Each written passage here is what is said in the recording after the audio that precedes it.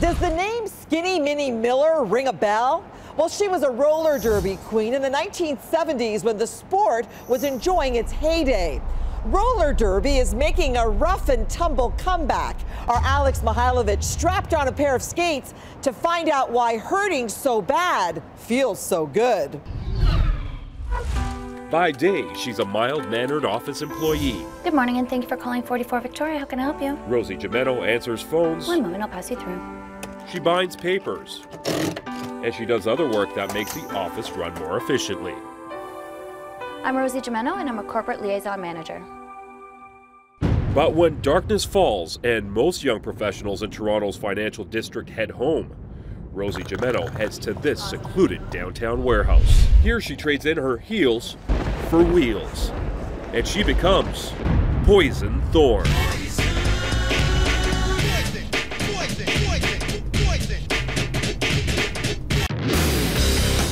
People say, like, you know what, you look too small, you look too, uh, too innocent to play derby. Well, come watch me at the, uh, at the rink and then we'll talk. That's right. Rosie Gimeno, aka Poison Thorn, is a roller derby diva.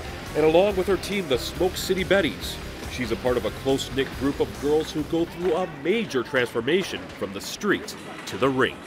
At night, when you put on your skates and you start playing with a group of women that are all like you from different parts of Toronto and different careers and different ages, it's just you all come together and it's like you're able to be something that you're not during the day. A cross section of students, businesswomen, and even academics. This sport brings in women from all walks of life. It's whoever wants to get down and dirty and, and mesh well with other women and, and get down and dirty when we're playing, that's who wants to come and join us. Beat on the brat, beat on the brat, beat on the brat with the baseball bat. Now, yeah. Lacey Brawler is an anthropology professor by day. She gives us her professional opinion about why Derby's so hot. The way to be athletic that's sort of, you know, it's got a cool factor to it, and there's a little bit, a little twist of irony and nostalgia. And nostalgia is a big part of it. First played in the 1920s, roller derby had its heyday back in the 70s when fans packed roller rinks to watch derby queens like Skinny Minnie Miller pass each other for points, no holds barred. 30 years later, the sport is back and it's all the rage from arenas coast to coast. And like this flick from 1972, this year the Derby phenomenon is hitting the big screen once again with the box office hit Whip It. What is this? Roller derby? Welcome to skate night at the warehouse.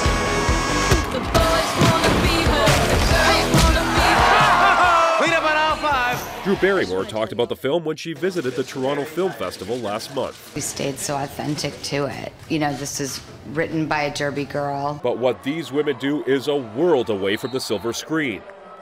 They're not paid to do this, and today's version of this full contact sport is not choreographed like it sometimes was in the 1970s.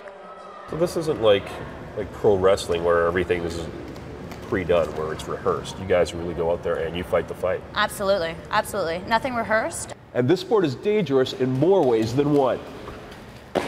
Out there, you know, people are out to kill us. The other team wants us dead. I had a broken leg, happened in practice, but you know what? You persevere, you get through it, and uh, you just work with your team and, and you keep going. It's the nature of the game.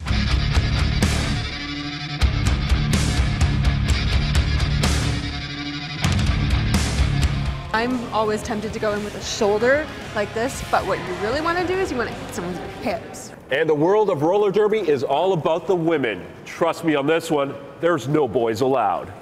When I tell people I play roller derby, they ask me, oh, you play rollerball? I tell them, no, there's no balls in derby. I think it's good that it's all women. The empowerment that comes out of it. And that empowerment makes all those cuts, bruises, and broken bones worth it when these women go back to their daily grind. Roller derby has made me more confident in everything I do.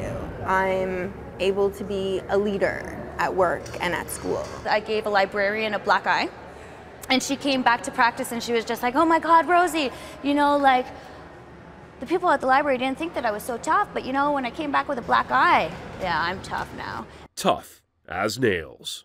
Is it dangerous? Yeah. Weren't you scared of us?